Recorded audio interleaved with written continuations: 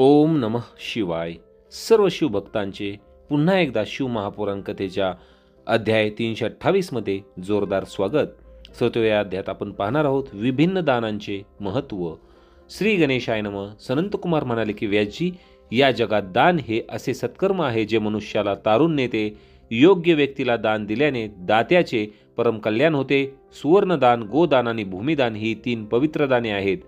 ती देणाऱ्याचा व घेणाऱ्याचा उद्धार होतो. या श्रेष्ठ वस्तूंचे दान करून मनुष्य सर्व पापातून मुक्त होतो. गोदान आणि भूमिदान ही दोन्ही दाने समान फलदायक आहेत. तुला दानाची ही मोठी प्रशंसा करण्यात आली आहे परंतु या सर्वामध्ये विद्यादानाचे महत्त्व अधिक आहे. मनुष्याने याचकांना दुभती प्रशंसा करण्यात दुभती गाय छत्री वस्त्र पादत्राणे अन्न पाणी इत्यादींचे अवश्य दान करावे. ब्राह्मणांना व याचकांना धनादी वस्तूंचे संकल्पपूर्वक दान केल्याने दाता बुद्धिमान होतो. सुवर्ण तीळ हत्ती कन्या दासी गृह रथ रत्ने कपिला गायी आणि अन्न ही दश महादाने आहेत.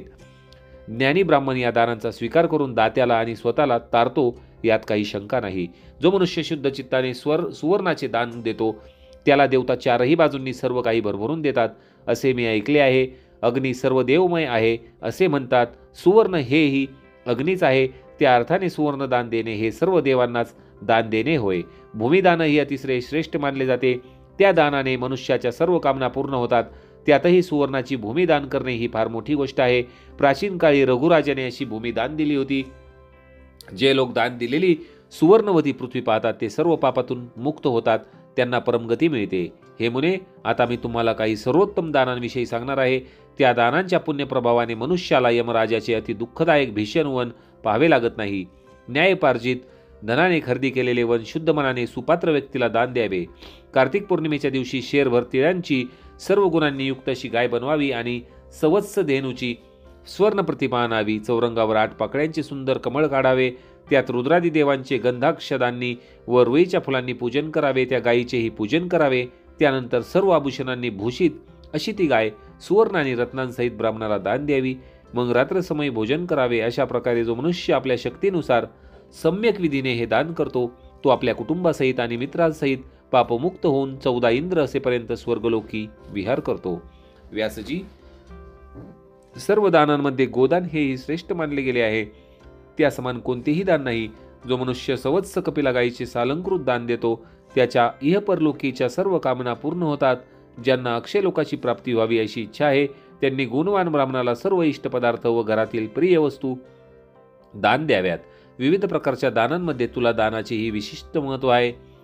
ज्याला आपल्या कल्याणाची अभिलाषा आहे त्याने आपल्या वजना इतक्या शुभ वस्तूंचे दान करावे. तुला दानाने मनुष्य दिवसा रात्री दोन्ही संध्यासमयी दुपारी मध्यरात्री तसेच भूत वर्तमान आणि भविष्य या तीनही काळात कायावाचे मने घडणाऱ्या सर्व पापांपासून मुक्त होतो पुण्यवृद्धी होऊन तो निस्संदेह स्वर्लो स्वर्गलोकी जातो. तुला दान करताना दात्याने भगवान शंकरांचे स्मरण करावे त्यांना पुढील प्रमाणे प्रार्थना करावी की हे महाप्रभू तुम्ही तुला पुरुष आहात मी तुम्हाला नमस्कार करतो. आज माझ्या वजना इतक्या शुभ वस्तू मी सुपात्र व्यक्तींना अर्पण करत आहे. त्या सत्कर्माने संतुष्ट होऊन तुम्ही माझ्याकडून आत्तापर्यंत जाणता अजाणता घडलेली व न घडलेली सर्व पापे हरण करा. त्यानंतर तराजूच्या दुसऱ्या पारड्यातील आपल्या वजना इतक्या शुभ वस्तू ब्राह्मणांना व सज्जनांना द्याव्यात. त्यामुळे मनुष्याचे परम कल्याण होते. जो कोणी अशा प्रकारे तुला दान करतो तोही निष्पाप होऊन चौदा इंद्र असेपर्यंत स्वर्गलोकी राहतो.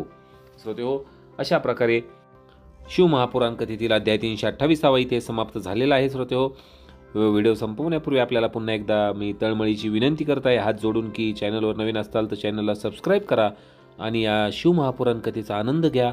हा व्हिडिओ आपल्या व्हॉट्सअपवर ग्रुपवर शेअर करा फक्त पाच जणांना आणि त्यांना देखील ही माहिती मिळू द्या. त्यांना देखील शिवमहापुराण कथेचा आस्वाद घेऊ द्या. सो ते फक्त याच चॅनलवर शिवमहापुराण कथेचे चारशे बासष्ट अध्याय आपल्याला पाहायला मिळणार आहेत. तर व्हिडिओ आवडत असतील तर लाईक देखील करत चला. मला देखील एक प्रोत्साहन मिळत असते. भेटूया लवकरच पुढील अध्यायात. ओम नम शिवाय.